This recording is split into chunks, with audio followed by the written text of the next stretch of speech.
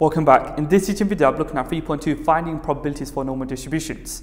3.2 represents chapter 3, section 2 of the Pearson A-Level Maths Applied Maths Year 2 textbook. Let's go through the key fact of this section.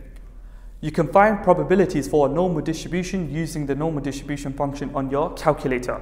Here is my example. Ladies and gents, x takes on a normal distribution with mean 30 and variance 4 squared.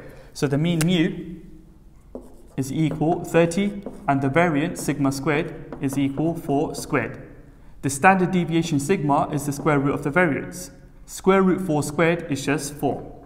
Find part A probability x is less than 33.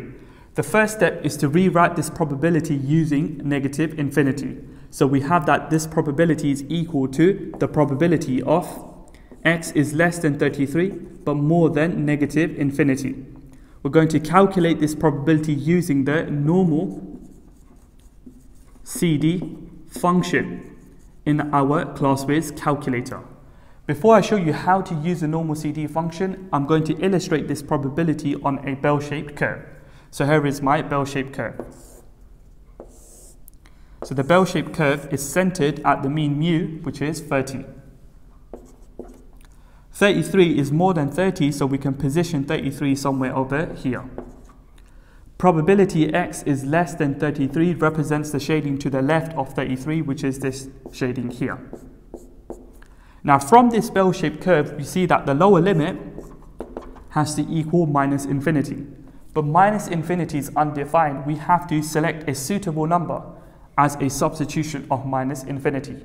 It will be a three-digit number.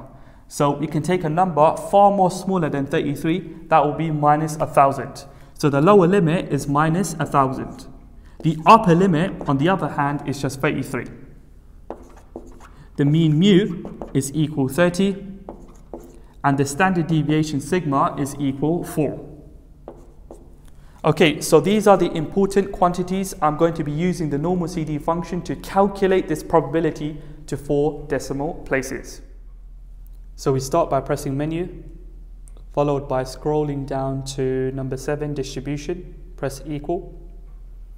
Then press number 2, normal CD. In part A, the lower limit is minus 1000, equal. The upper limit is 33, equal. The standard deviation is 4, equal.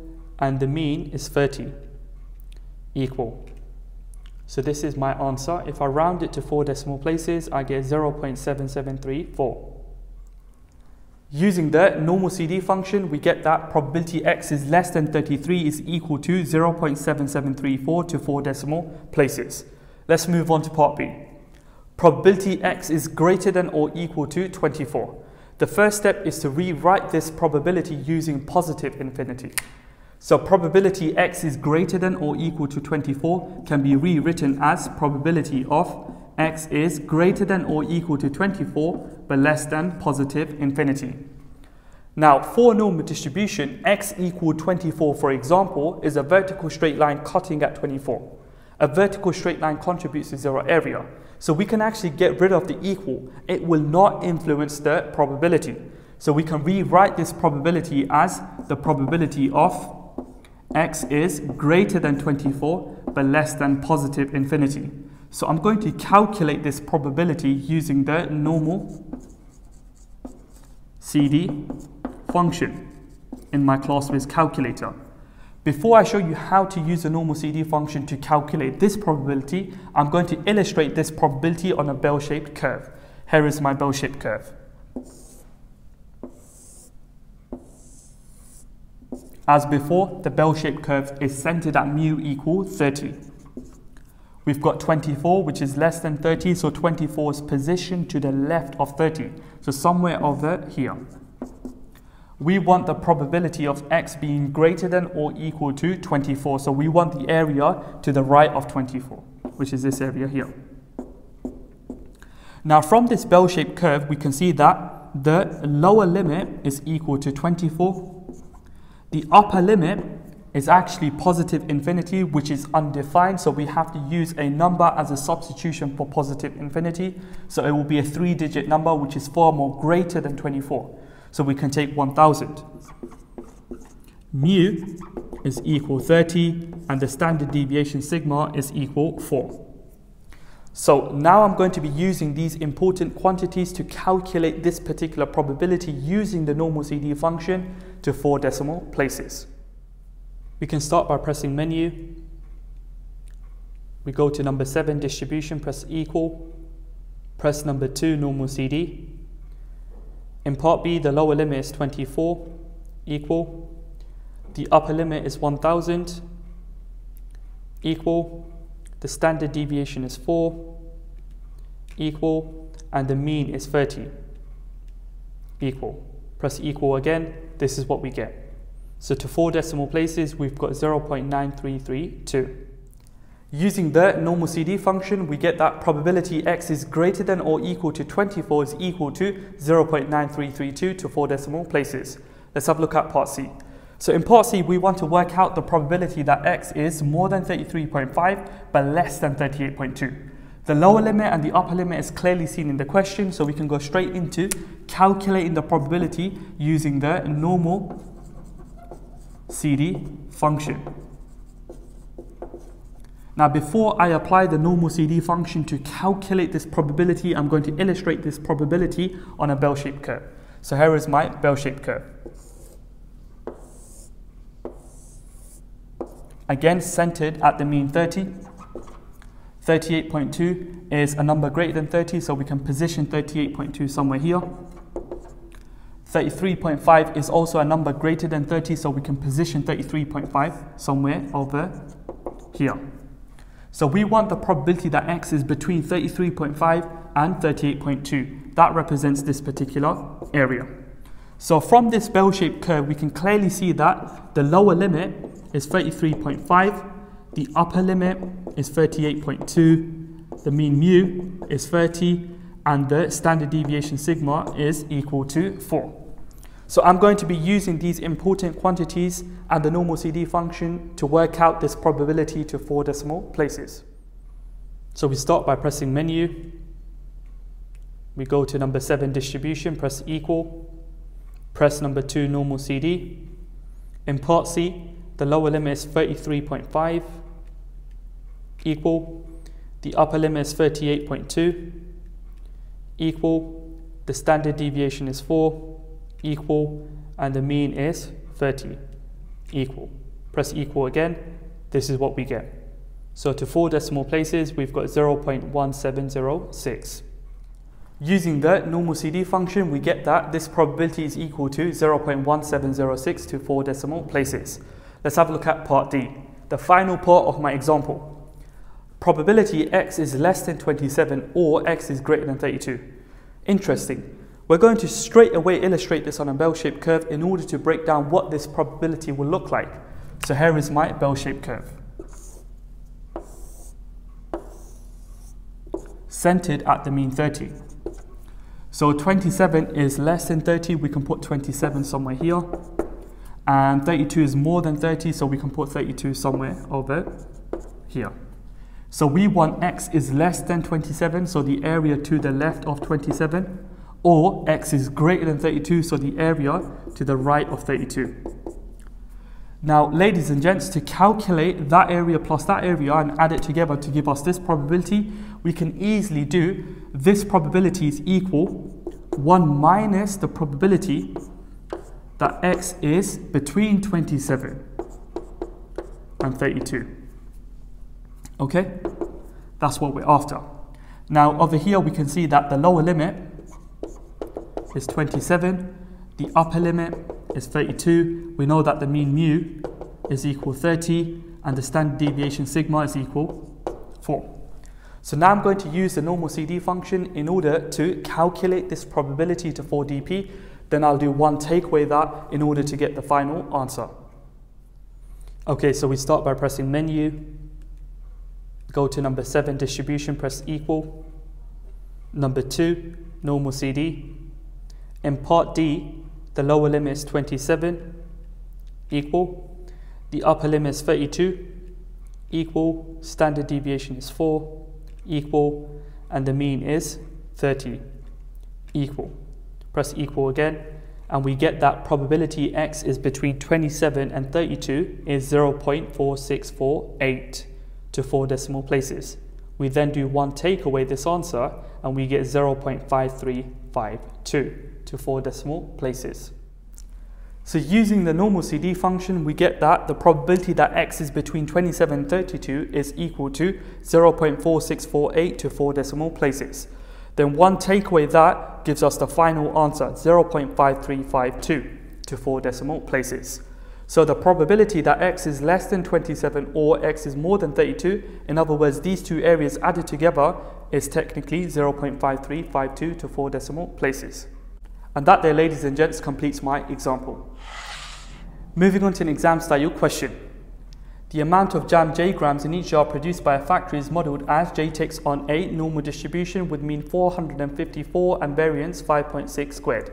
So we know that the mean mu is equal 454 and the variance sigma squared is equal 5.6 squared. Hence the standard deviation sigma is equal 5.6.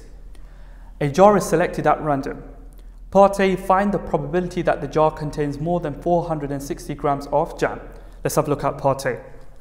So in part A, we are trying to calculate the probability that J is greater than, more than 460 grams. We're going to rewrite this using positive infinity. So this is equal to the probability that J is greater than 460 but less than positive infinity. So we're going to calculate this probability using the normal CD function in our ClassWiz calculator. Okay, so from here we can see that the lower limit is 460, the upper limit positive infinity which is undefined. We must pick a number 4 more greater than 460, a 4 digit number. So as a default we can now use 10,000 as our upper limit. Uh, the mean mu is equal 454. The standard deviation sigma is equal 5.6. So now I can apply the normal CD function to calculate this probability. So using the normal CD function, I get 0.1420 to four decimal places. The jars pass a quality control test if they contain between 452 grams and 458 grams of jam. Part B, find the probability that a jar will pass the quality control test. Okay, so we've got pass a quality control test. The following condition must be satisfied. J has to be more than 452 grams but less than 458 grams. We want the probability of this happening. So we're trying to calculate the probability that 452 is less than J, which is less than 458. We're going to calculate this using the normal CD function in our ClassWiz calculator. So if we look at this, we can see that the lower limit, ladies and gents, is 452. The upper limit is 458 the mean mu is 454 and the standard deviation sigma is 5.6. Okay, so I can apply the normal CD function now to calculate this probability. So this probability is equal to 0.4020 to four decimal places. So probability that a jar will pass the quality control test is 0.4020 to four decimal places.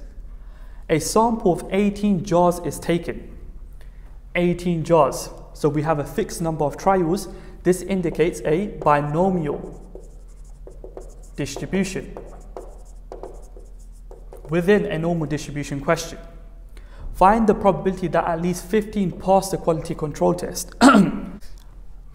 Firstly, we're going to define a new random variable let x be the number of jars that pass the quality control test.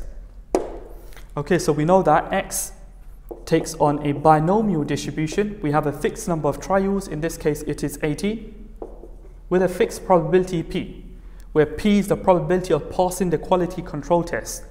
So p from part B is the probability that j is between 452 and 458. We've calculated this already. It is 0.4020. Okay, so that's my p-value within the binomial distribution. So what I want is the probability that at least 15 pass the quality control test. That means 15 or more. So I'm after the probability that x is 15 or more. So x is greater than or equal to 15. Now we need to rewrite this in order to use the binomial CD function. Ladies and gents, the binomial CD function can only be used for less than or equal to. So this here is equivalent to 1 minus probability x is less than 15 less than 15 because over here 15 is included. Let's take it a step further. We've got 1 minus the probability of. If x is less than 15, that means x has to be less than or equal to 14. So that there satisfies our condition of using a binomial CD function less than or equal to. So what we have here is that capital N, the number of trials is 80, P, the fixed probability, is um, 0.4020. Lowercase x is going to be 14. So now we're going to apply the binomial CD function to calculate this probability to four decimal places. So I've got 1 minus, applying the binomial CD function gives me 0.9998. So one takeaway that will just be 0.0002. Okay, so that's my answer to four decimal places. So the probability that at least 15 pass the quality control test is a very small probability. It is 0.0002. This completes my exam style question and this teaching video 3.2 finding probabilities for normal distributions. If you found the teaching video useful, please don't forget to subscribe, leave a like, leave a comment, turn on your notification bell so that you receive notifications every time I post a new teaching video.